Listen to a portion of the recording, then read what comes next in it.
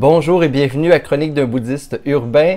Et bien aujourd'hui, je vous invite à rêver une vie où chaque jour, il y a quelqu'un qui va prendre soin de vous, il y a quelqu'un qui va vous donner de la tendresse, de la douceur.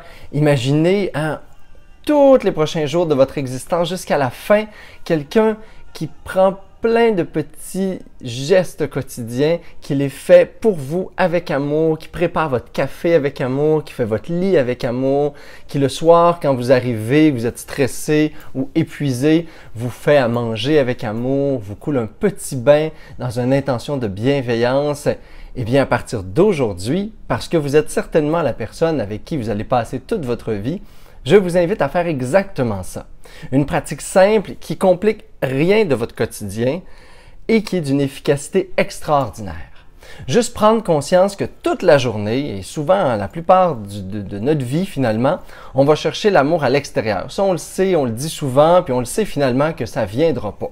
Mais on continue, par exemple, toujours à l'espérer, à le souhaiter, la preuve étant qu'on attend beaucoup des autres et que la plupart de nos frustrations, colère, peur, insatisfaction viennent du fait que finalement les autres ne répondent pas à nos besoins. Alors on va répondre à ces besoins-là nous-mêmes. Et notre premier, notre plus grand besoin, c'est le besoin d'être aimé. C'est ce qui construit à l'intérieur de nous une solidité dans notre identité. C'est ce qui nourrit l'estime de soi. C'est ce qui nourrit l'amour propre. Et ces pratiques-là vont vous permettre de faire ça et de renourrir ça. Hein? Je ne sais pas si ça se dit, mais en tout cas, de nourrir à nouveau ça à chaque jour et d'entretenir cette relation d'amour et de bienveillance avec vous-même. Alors, je vous invite tout de suite, dès aujourd'hui, prenez pas un calendrier pour mettre ça à l'agenda, à partir d'aujourd'hui, un petit geste que vous faites au quotidien. Imaginez là, que juste quand vous préparez votre repas, ou quand vous préparez votre café, ou quand même vous vous brossez les dents, ou quand vous faites votre lit, vous le faites pour la personne la plus importante au monde. Prenez juste un temps là, pour faire ce que vous faites de toute façon à chaque jour pour vous, mais à vraiment le faire pour vous. Le faire avec une intention de bienveillance, une intention d'amour. En servez la table comme si vous la serviez pour la personne la plus importante au monde. Faites votre lit comme si vous le faisiez à votre enfant, à quelqu'un que vous aimez.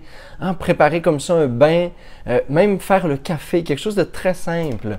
Juste les petits gestes quotidiens avec une intention de bienveillance pour nourrir le cœur de douceur, de tendresse et d'amour. C'est simple, c'est efficace, ça prend pas de temps, ça vous amène juste dans plus de conscience et plus de présence au quotidien, dans ces petits gestes-là qui passent inaperçus et vous allez voir que dans la journée, vous allez entretenir systématiquement après ça une relation euh, davantage de respect et d'amour pour vous-même dans tout ce que vous allez faire. Alors je vous souhaite une magnifique pratique et à partir de maintenant, chaque jour, ce besoin d'amour va être comblé et on va être capable d'en donner encore plus aux personnes qui nous entourent. Namasté tout le monde!